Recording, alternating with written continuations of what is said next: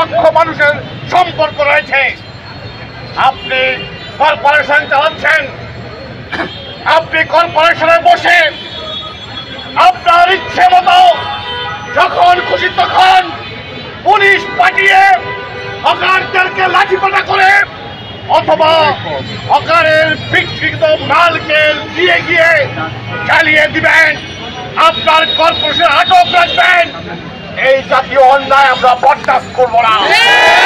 আমরা পরিষ্কার বলি, আমার এই হকার ভাইদের ভুখা রেখে আগামীতে ঈদ হতে দিব না আমরা।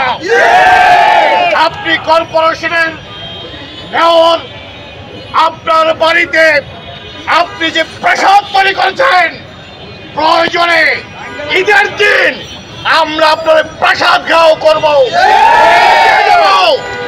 কীভাবে হকারদেরকে বুকা রেখে আপনারা আপনাদের রঙ্গমঞ্চ তৈরি করেন। সংগ্রামী বন্ধুরা, আমরা বারবার বলেছি, শুধু নারায়ণগঞ্জ নয়, সারা বাংলাদেশে হকারদেরকে পুনর্বাসন ছাড়া বস্তিবাসীদেরকে পুনর্বাসন ছাড়া, গৃহহীন মানুষকে পুনর্বাসন ছাড়া বাংলাদেশের আইনেও ওই মানুষকে উচ্ছেদ করার কোনো বিধান নাই।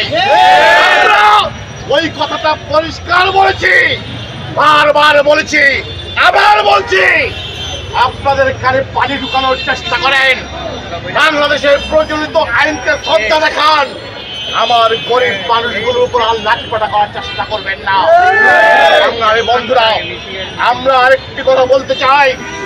যদি এইভাবে প্রতিদিন প্রতিদিন যদি এইভাবে ওই পুলিশ দিয়ে সন্ধ্যা পান্ডা দিয়ে আপনি যদি আমার হকারদেরকে এইভাবেই নির্যাতন করেন এইভাবেই তার ব্যবসাগুলোকে বন্ধ করে দেন প্রয়োজনে আপনার কর্পোরেশন সহ এই নারায়ণগঞ্জে আমরা হরতাল অবরোধের মতো করব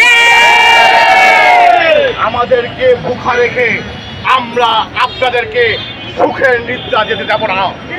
সংগ্রামী বন্ধুরা আগামী দিনে যেহেতু প্রতিদিন সভা সমাবেশ হবে আগামী দিনের সংগ্রামে আপনারা ঐক্যবদ্ধভাবে রাজপথে থাকবেন, রাজপথ দখলে নেবেন, মনে রাখবেন, রাজপথ দখলে না থাকলে, রাজপথ দখলে না থাকলে কর্পোরেশন বলেন আর সরকার বলেন, প্রশাসন বলেন, কাউকে বাধ্য করা যায় না। অতএব অধিকার যদি প্রতিষ্ঠা করতে হয়, ঐক্যবদ্ধ থাকতে হবে, রাজপথে থাকতে হবে। আহ্বান রেখে আমার সংগঠনের পক্ষ থেকে আপনাদেরকে শুভেচ্ছা অভিনন্দন জানিয়ে আগামী দিনের আন্দোলন সংগ্রাম, আগামী দিনের আন্দোলন সংগ্রামে থাকার প্রত্যাশা রেখে আমি আমার বক্তব্য শেষ করছি।